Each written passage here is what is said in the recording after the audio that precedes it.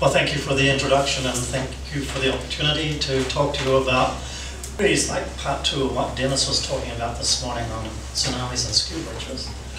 Um, but the focus here is on the effect of debris on the, the a bridge when it is being overtopped in a tsunami. So Dennis is a co-author and Anas Aspar, who is sitting over here on my right, your left, is the graduate student on the project. So I'll talk about the objectives, the participants, um, some of the background. This presentation is more questions than answers since we've only just started on it. It's a PEER-funded project. Contracts were signed in the summer of this last year, so we've been at this about six months into a two-year project. So the background, the challenges involved, the previous work that we have done in this field, and just some fundamental questions that we're setting out to answer. A bit about the progress to date, to date um, experimental test matrix, the debris tracking challenge, and then some acknowledgements. So the objective is uh, broadly to gain insight into debris impact loads on bridges during tsunami overtopping using both numerical and experimental simulation tools. And the numerical tools include mesh-based, particle-based, and hybrid systems, um, which are, um, I would say, commonly used, but widely used by those who do fluid structure interaction and numerical modeling.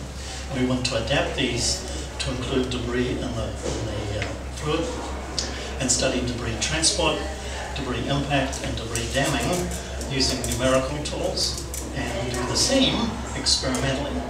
In the experimental world, we will go back and use the large wave flume that's on the Corvallis campus at Oregon State University up in the state of Oregon. And we will use their wave maker to generate tsunami-like waves and bores with and without debris in the, in the water.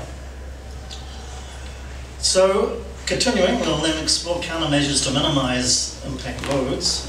Um, and then I say here develop, maybe I should say refine, prescriptive load equations that include the effect of debris for inclusion in a guideline um, document that's currently being developed and pretty much the first version of it is pretty much done, being done by PEER uh, for the AASHTO Committee on Bridges and Structures. But thinking about well, while we've got this topic where we're headed, we want prescriptive equations that designers can use. What's currently used, and we borrow from the building world, uh, um, there, there, are at least three approaches, and they all have issues. The impulse momentum approach, that the debris force is a product of the mass, the velocity of impact, and divided by the time it takes to reduce the debris velocity down to zero. The work energy approach, which is mass times velocity squared divided by the stopping distance of the debris. And both of these have problems in not having wide agreement as to what delta T or S should be. And those documents that are around give quite a wide spread for such parameters. Um, and really they are rigid body impacts. We should be looking at flexibility issues and the relative stiffness of the debris and the structure that's being struck in developing these equations. And so some, this equation has been floated as, uh, no pun intended, I guess, as one way to look at flexible impact. Um, the participants I've mentioned, Dennis uh, a research assistant professor and I was a co-PI, uh, Michael Scott at OSU, another co-PI, and Anas, a graduate assistant, uh, doing all the work. So challenging issues with regard to just tsunami inundation or overtopping bridges. A, it's a multidisciplinary topic, and you would say, well, that's not a challenging issue. Mm, yes and no. Um, we tend to have different vocabularies and different priorities, and here we have coastal engineers, hydraulic and structural engineers, uh, all needing to work together and understand each other's discipline, and the simulations need to be multi-physics. So the field of fluid structure interaction is in its infancy. Realistic numerical modeling of tsunami overtopping of a bridge structure requires multi-phase flow in combination with fluid structure interaction. And what is currently tends to be done is just CFD, computational fluid dynamics, with rigid bodies representing the, uh, the bridge itself. And the flexibility of the bridge uh, is not in a CFD simulation. But CFD simulations run a lot faster than FSI ones, and if we want to do three-dimensional fluid structure interaction, the, computational time is intensive. And there's only limited validation on these numerical codes that have been done using data from experiments that are done at reasonable scale. When it comes to debris impact work, most of it is on simple, relatively simple building-like structures. There's nothing currently available uh, for debris impact on bridges.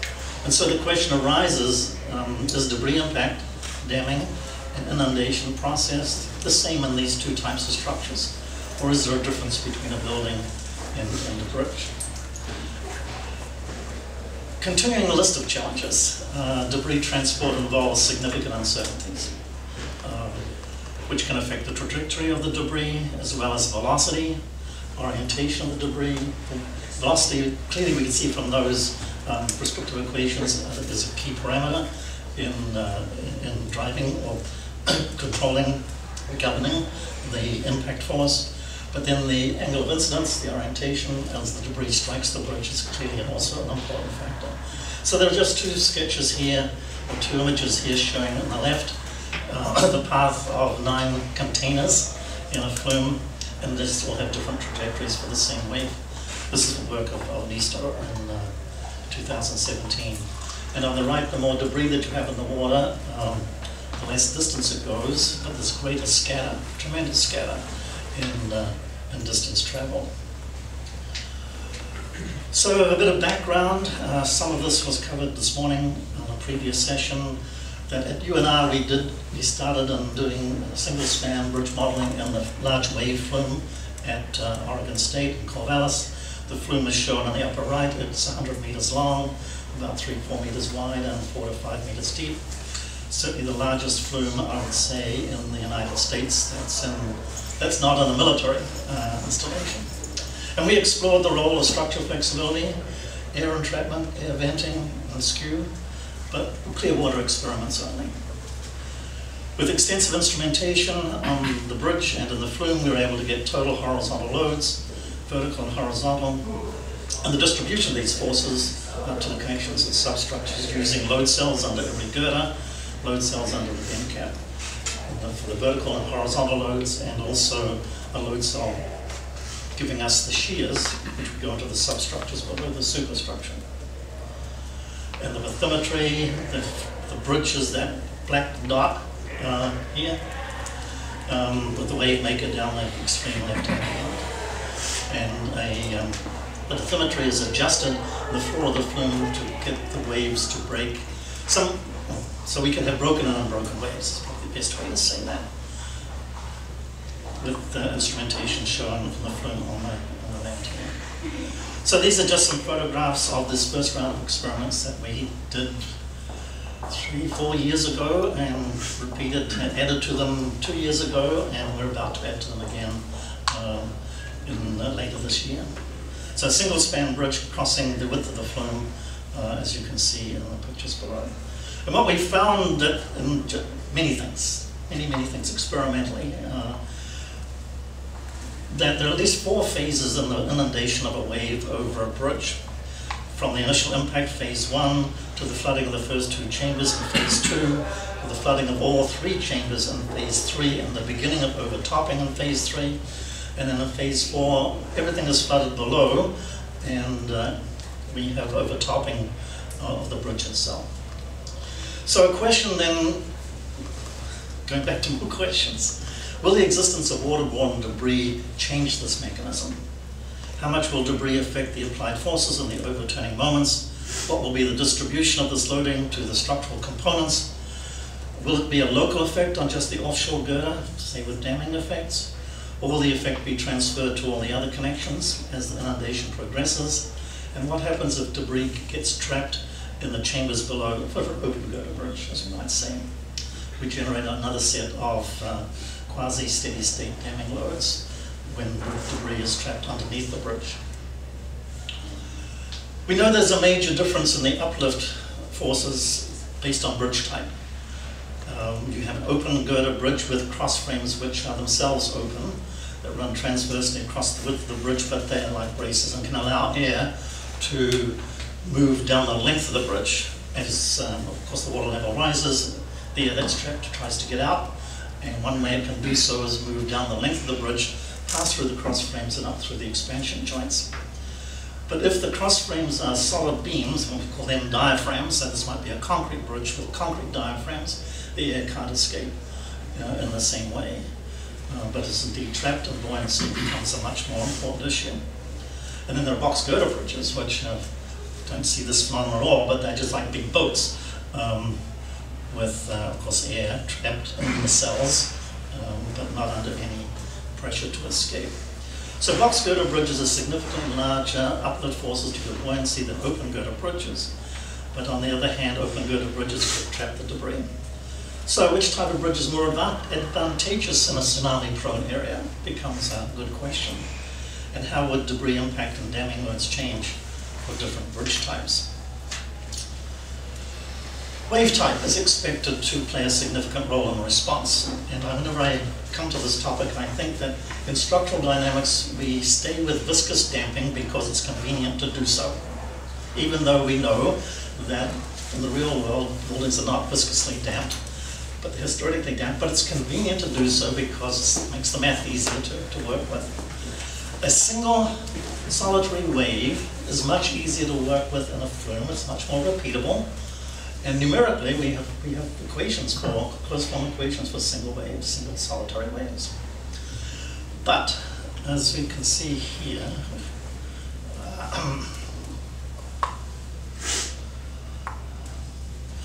so I've got debris I have a solitary wave, and there's my bridge, but the wave has not transported the debris to the bridge. So, that, and, and, just repeating this here, um, this time with velocity profiles, you simply see the debris ride, ride over the top of the wave and is not transported to the bridge. So although there are good waves to work with experimentally and numerically, their ability to transport debris is, is limited in, in this sense. Bores, on the other hand, are much more realistic in terms of representing what a tsunami looks like, but they have high variability, or another way to say this, poor repeatability, due to the chaotic nature of the wave, the plunging type, and wave breaking process. So there's three images here on the left of a wave of the same wave height generated by the same wave maker in the same flume it's a broken wave, and you can see just on the instant of approaching the bridge deck, so looking straight down, uh, we can see there is a different profile of um, wave reaching the bridge.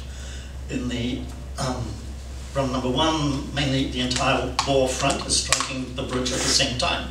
In run number two, maybe the extreme right-hand part of the bore front is just touching the bridge, but the rest of it is yet to catch up. And on run number three, maybe we're getting the bore front just touching the center of the midspan of the bridge. And so we can have wide variability just with the same wave and the same uh, um, bridge type with a bore, making sort of repeatability is not, not nowhere near as good. So this can lead to variability in recorded wave heights, spatial distribution of the fluid particles across the width of the flume. And uh, so how is this going to affect debris? if the debris is allowed to take its own path down, down the flume. well, how to monitor the wave and the bridge response and track the debris. Wave and bridge response we have experience with. We've done it in the previous uh, experience we've spoken about today with wave gauges and pressure gauges and accelerometers and the, the like, load cells and substructure springs, bearings and bent caps. It's the debris tracking that we see as the greatest challenge that faces us in this experiment. We need to know the velocity at impact and the orientation of the debris at impact. Um, so high-speed cameras have been used and computer vision methods to track fluid velocities and debris motions is being considered. Or we could put sensors within the, each item of debris like a GPS or some form of accelerometer, some form of gyroscope, uh, or some combination of the above. And computer vision has been used with PIV, particle image uh, velocity measurement for tracking debris. So this is one of our experiments from a few years back, looking straight down on the bridge. The wave, in this case, the bore is coming from below, moving up the screen. You see that white water there? And these blue green arrows are velocity vectors. And so we've been able, um, with computer vision techniques, to get the velocity profile across the width of the flume at this instant that we're looking at, the snapshot in time. And we can see in the plot below, velocity is vertical, width of the flume is horizontal on the side of the debris element.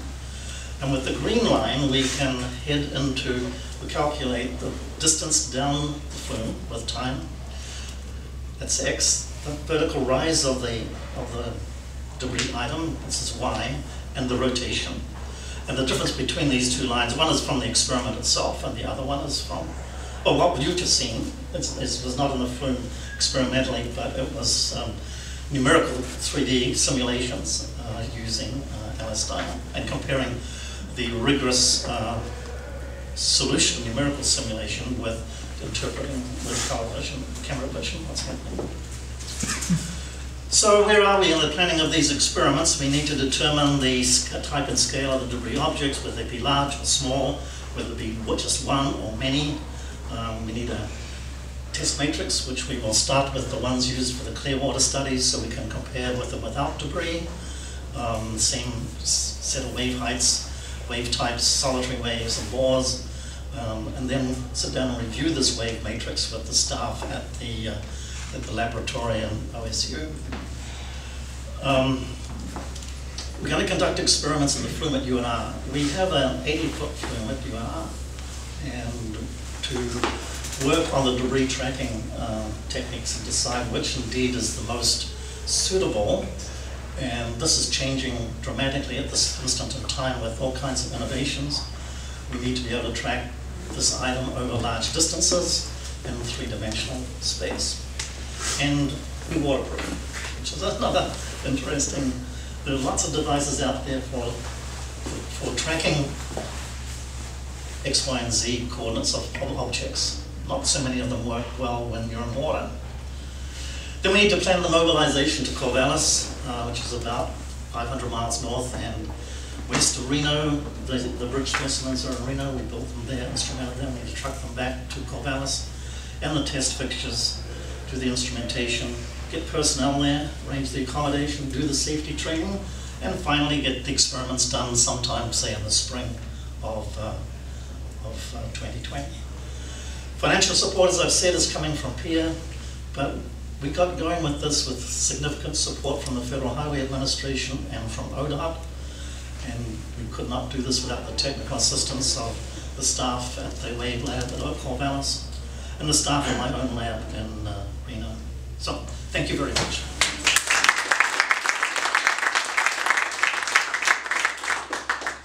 Thank you for that interesting talk. I mean, I know this experiment's in, you know, in the planning stages, but does, uh, you know, somebody have a, a question or two for,